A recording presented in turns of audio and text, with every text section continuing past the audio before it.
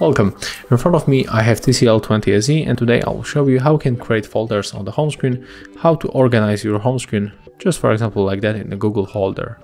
So if you want to organize maybe these icons, you have to click hold and then drag like that.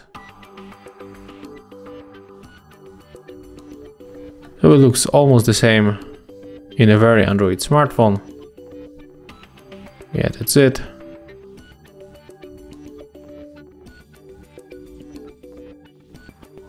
Simple, right? We can enter and we can also rename that folder. We can type games, click here, go back. As you can see, that's it. So if you find this video helpful, remember to leave a like, comment and subscribe to our channel.